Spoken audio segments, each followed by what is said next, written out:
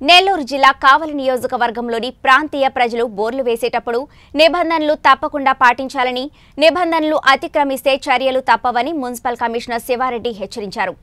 Road మీద కొట్టుకొస్తే మనుషులు జారి పడిపోతారు. కనీసం ఆ విషయం కూడా తెలియకుండా మన ఇష్టం వచ్చినట్టు చేసుకుంటా వెళితే ప్రజలకు నష్టం జరుగుతుంది. దయచేసి అర్థం చేసుకోండి. ముఖ్యంగా మీకు తడి చెత్త అంటే ఇంట్లో మిగిలిపోయిన అన్నము కూరలు పచ్చళ్ళు టిఫిన్లు ఏవైనా కావచ్చు. అదేవిధంగా మీరు వండటానికి తెచ్చినప్పుడు ఎన్వి కానీ వెజిటేరియన్ కానీ కొంత వేస్ట్ తీసేస్తాం. అది కూడా తడి చెత్త కిందే వస్తుంది. అదేవిధంగా మనకి అన్ని రకాల పండ్ల వేస్ట్ మన ఇంట్లో ఉంటుంది. పండ్లు పుళ్ళిపోయినా సరే పిప్పైనా తొక్కలైనా సరే తడి చెత్త కింద వస్తుంది. అదేవిధంగా అన్ని రకాల ఆకులు కూడా ఎండు అయినా పచ్చి అయినా తడి చెత్త కిందే వస్తుంది.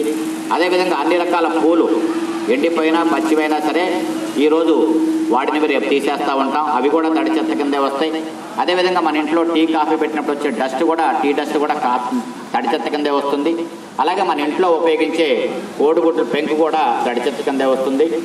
ఇంట్లో వచ్చిన దుమ్ము ధూళి బూజు కూడా తడి చెత్త కిందే వస్తుంది. కొబ్బరి పీచు కూడా తడి చెత్త కిందే వస్తుంది. అందువల్ల వీటిని మాత్రమే ఒక పాత్రలో వేసుకోండి.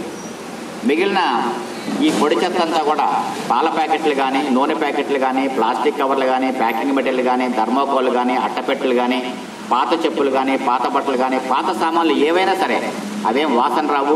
మీరు ఒక బియ్యం సంచిలో వేసుకొని బండి వచ్చినప్పుడు బండి వాళ్ళకి ఇవ్వాలి. లేదంటే మీ ఇంట్లోనే స్టోర్ చేసుకోవాల్సిన అవసరం ఉంది.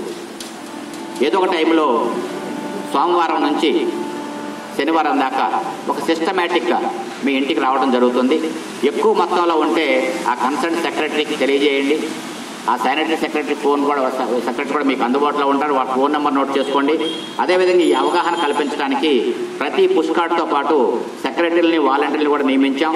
వాళ్ళతో కోఆర్డినేట్ చేసుకోండి. మీకు తెలియకపోతే అడగండి. ఆ విధంగా తడి పొట్టిన పొడిని విడివిడిగా ఇవ్వండి. ఇంకోటి హానికరమైన చెత్త. జనరల్గా అన్ని ఇళ్ళలో రాకపోవచ్చు ఇది. ఆడవాళ్ళు వాడే ప్యాడ్స్ కానీ అదేవిధంగా చిన్నపిల్లలకు వాడే డైపర్స్ కానీ